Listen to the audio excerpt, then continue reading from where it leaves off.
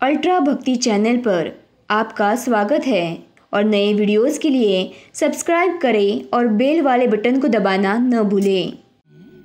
भक्तों का गौरव, भक्ति हूँ। मैं भक्तों की आस्था, पूजा हूँ। दयासुर के साथ प्रेम घन, प्रेम महल में प्रवेश करता है। शिवाज्ञा से गौरी पुत्र दयासुर का मार्गदर्शन करते हैं। विवाह बेला में महोत्कट श्री गणेश के दर्शन पाकर सभी गदगद हो जाते हैं।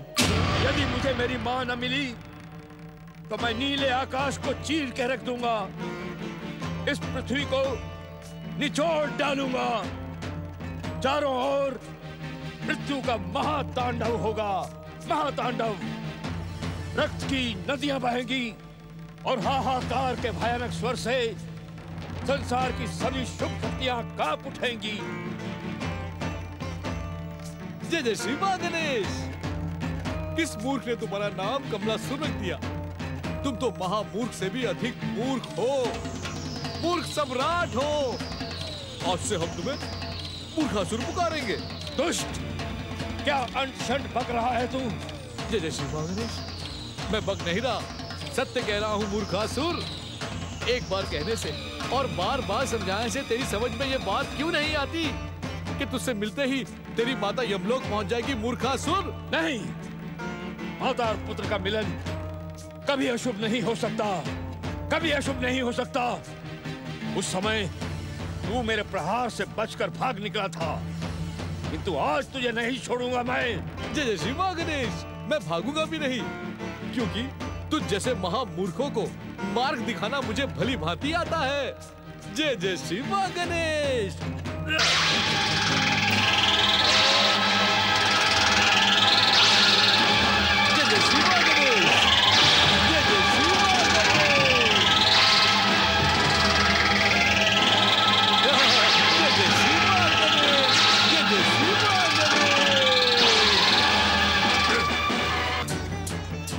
मैं तुझे मारना नहीं चाहता मूर्खासुर मैं तो केवल श्री गणेश की आज्ञा का पालन कर रहा हूँ।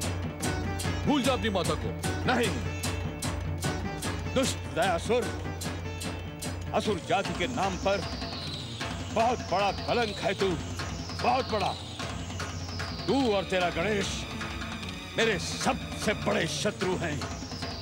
तेरे गणेश ने मेरे महान पिता सिंध दैत्य का वध किया था। और तेरे उसी गणेश ने मुझे कैलाश से उठाकर पर्वत की गुफा में फेंक दिया था। तेरी बुद्धि को ठिकाने लगाने के सिवा मैंने आज तक कुछ नहीं किया।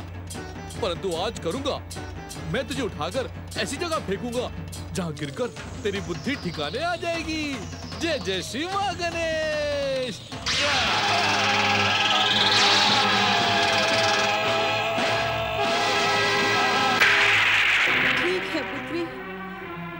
अगर तू कहती है तो मैं देवकी की खोज अधूरी छोड़कर वापस लौट चलती हूँ। जैसी गणेश महाराज की इच्छा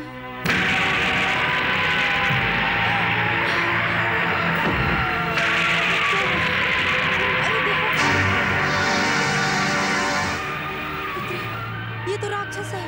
राक्षस है भागो। हम दोनों को उठा ले जाएगा। भागो पुत्री, भागो। बचाओ बचाओ बचाओ बचाओ बचाओ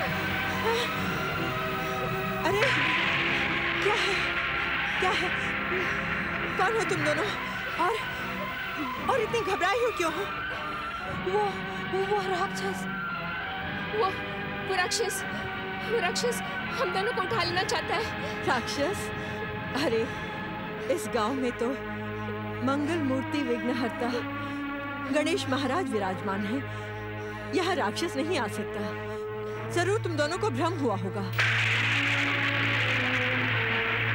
देवकी देवकी देवकी देवकी, तुम मेरी सखी देवकी, तुम यहाँ?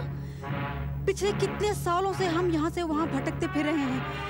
आज गणेश महाराज की कृपा से तुम मेरी सखी मेरी सखी केतकी केतकी केतकी मेरी सखी केतकी केतकी देवकी माँ जी वो हमारे पीछे यहाँ तक तो नहीं आएगा ना? कौन? किसकी बात कर रही हो तुम? क्या कोई तुम्हारा पीछा कर रहा है? आपको आपको ढूंढते हुए हम जब हम गाँव में गणेश जी के मंदिर पहुँचे तो अचानक आसमान से एक भयानक सा भयानक सा राक्षस ज़मीन पर चीखते चिल्लाते हम दोनों पर आ गिरा। और वो वो हम दोनों को मारना चाहता था। इसीलिए हम राक्षस? क्या वो अभी भी तुम्हारा पीछा कर रहा है? अभी तो वो मंदिर में बेसुध पड़ा हुआ है। बेसुध पड़ा है? तब तो जल्दी ही उसकी सुध वापस आ जाएगी। और वो सारे गाँव पर उपद्रव। नहीं नहीं। वो तो गणेश जी के मंदिर में गिरा है। और गणेश जी अवश्य अपने भक्तों की रक्षा करेंगे। अवश्य रक्षा करेंगे। देव की बहन, तुम्हारे ही समान मेरे पुत्री विजय को भी गणेश महाराज की कृपा पर बहुत विश्वास है। विजया विजया, इतनी बड़ी हो गई तू। अरे, इतनी सी थी जब मैंने तुझे देखा था, आ पुत्री मेरे हृदय से लग जा। आ पुत्री। आ। विजया विजया विजया पुत्री विजया देव की बहन दीनू वीनू कहीं दिखाई नहीं पड़ रहे?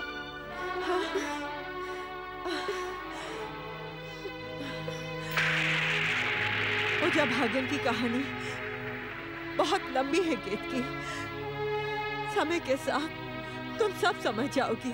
परंतु बस इतना समझ लो कि मुझे भागन को अकेला छोड़कर दीनू और वीनू न जाने कहाँ चले गए हैं। लेकिन मुझे पूरा विश्वास है कि मेरे गणेश जी की कृपा उन्हें ज़रूर वापस लेकर आएगी।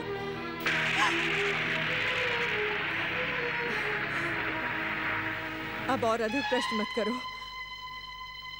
रात बहुत हो चुकी है।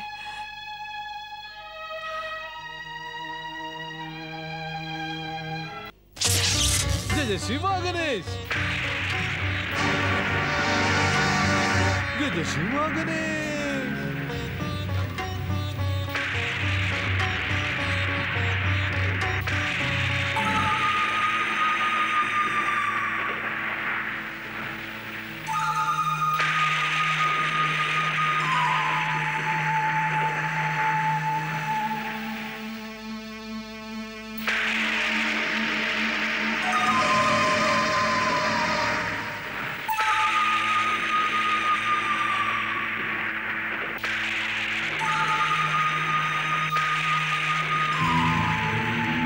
मैं तुम्हें प्रणाम नहीं करूँगा। और ना ही तुम्हारी जय जयकार करूँगा। जानते हो ना क्यों? क्योंकि प्रणाम तो उसे किया जाता है, जो आदर के योग्य हो। जय जयकार तो उसकी होती है, जो न्यायवान हो।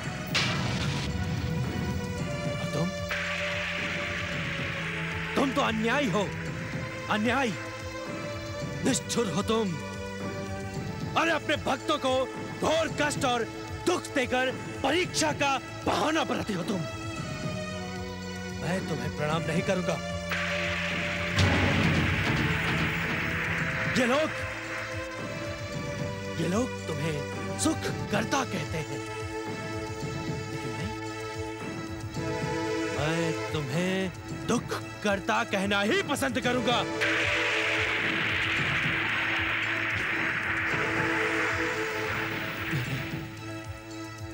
मैंने जन्म से लेकर आज तक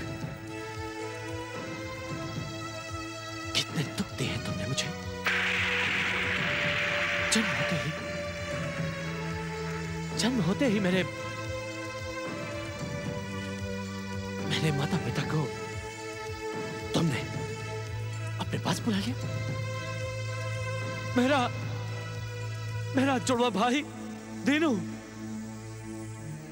दीनू को कोई उठा कर ले गया और और तुम तुम इसी मंदिर में बैठे बैठे मेरे कष्टों का तमाशा देखते रहे तुम।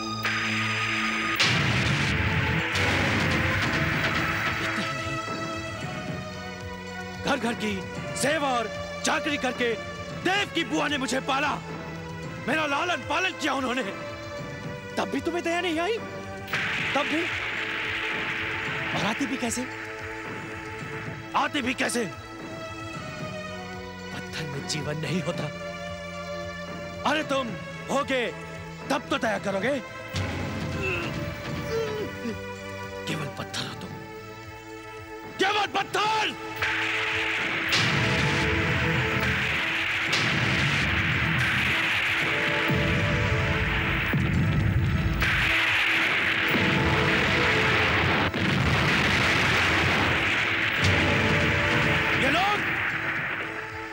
लोग हैं ये मुझे।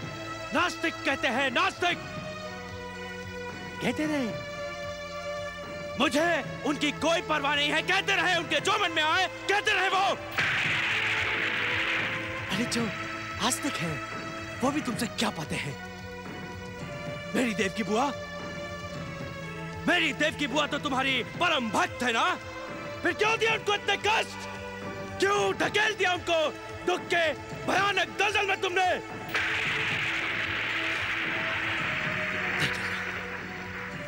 देख लेना एक दिन। हर एक मनुष्य को विश्वास हो जाएगा कि तुम केवल एक पत्थर हो। केवल पत्थर!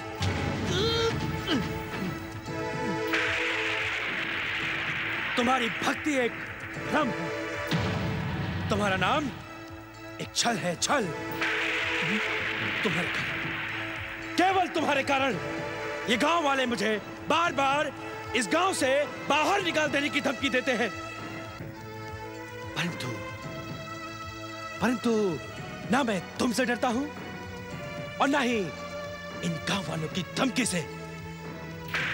अरे, जब तुम किसी का भला नहीं कर सकते तो बुरा भी क्या कर पाओगे तुम? क्या कर पाओगे बुरा तुम?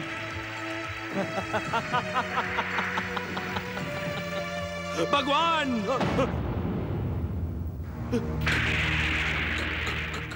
कौन हो? कौन हो तुम? कौन हो तुम और इतनी रात? इतनी रात में? गणेश गणेश गणेश मंदिर में क्या करे तुम?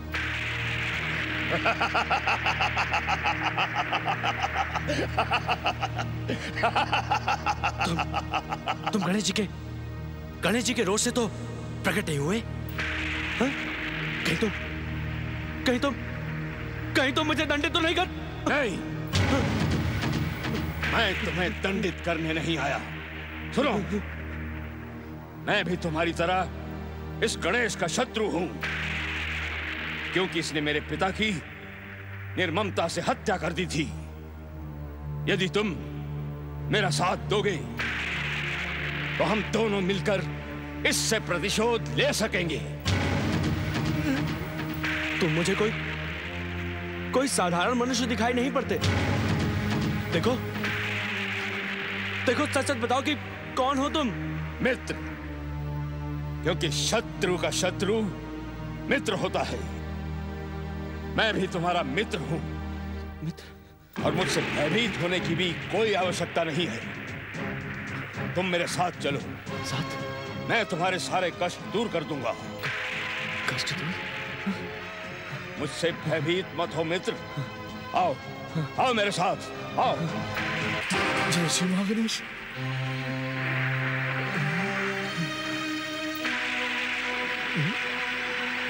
जय जय श्री महागणेश।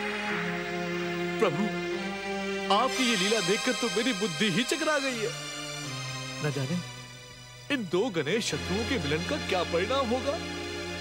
हे प्रभु, इस संसार की रक्षा करना मंगल मूर्ति, रक्षा करना। जय जय श्री माँ गणेश। प्रणाम।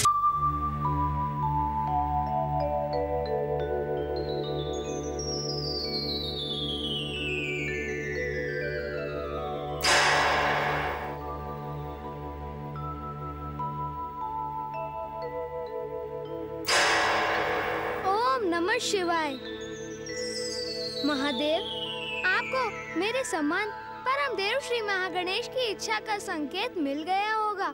मैं यहाँ आपसे और गौरी पुत्र से यही जानने के लिए आया हूँ कि मुझे माता अदिति को बताकर विदा लेनी चाहिए अथवा बिना बताए। देव देवादिदेव एक बार पहले भी मैं माता अदिति को पुत्र वियोग में दुखी होते देख चुका हूँ। मैं नहीं चाहता कि माता को मेरे कारण दुख हो।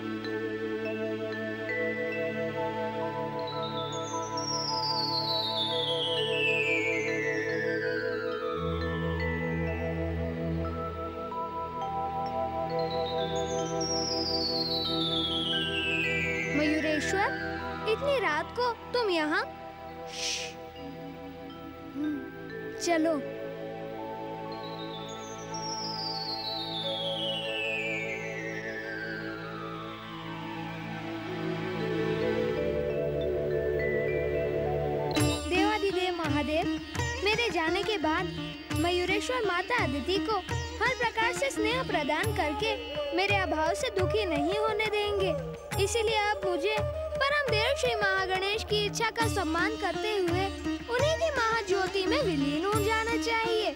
परंतु आपकी आज्ञा और गौरी पुत्र का परामर्श पाए बिना मैं ऐसा नहीं कर सकता।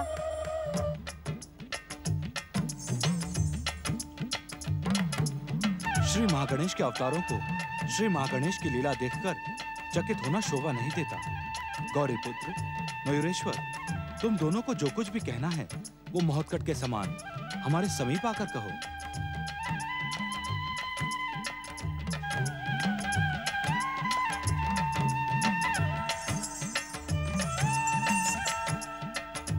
तुम तीनों श्री महागणेश के अवतार हो, इसलिए श्री महागणेश की इच्छा और लीला का ज्ञान तुम्हें अवश्य होगा। महोत्कट की बात भी तुम दोनों ने अवश्य सुनी है। इसलिए कोई भी निर्णय करने से पहले हम तुम्हारे विचार जानना चाहते हैं।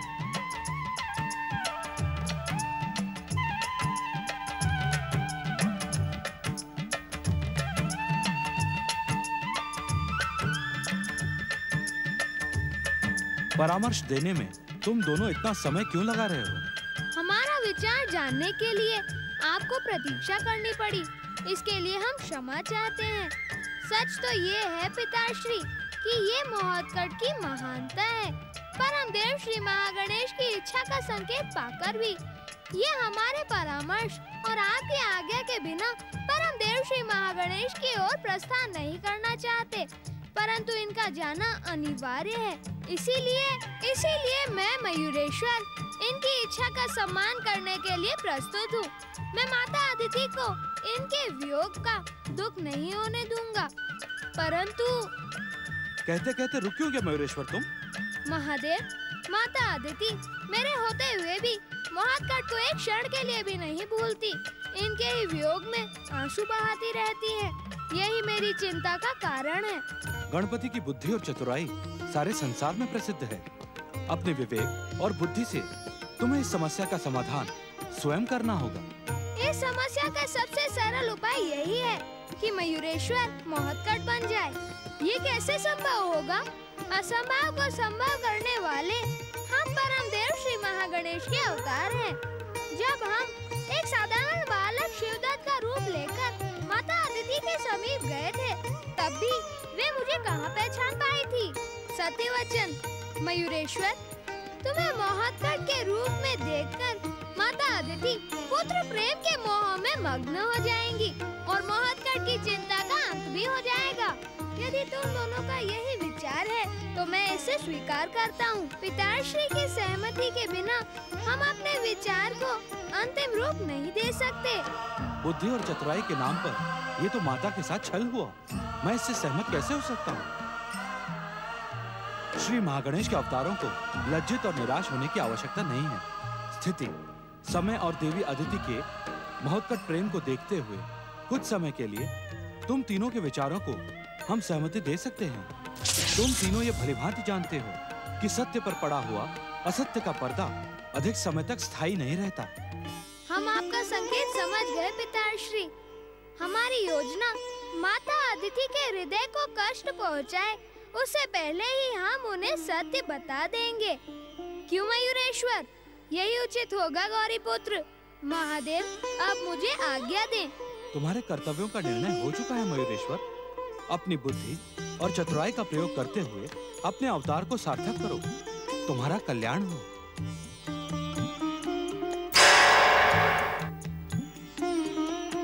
महादेव माता की चिंता का अंत होने के साथ मेरे इस अवतार के समस्त कार्य पूर्ण हुए। अब मुझे भी आज्ञा दें।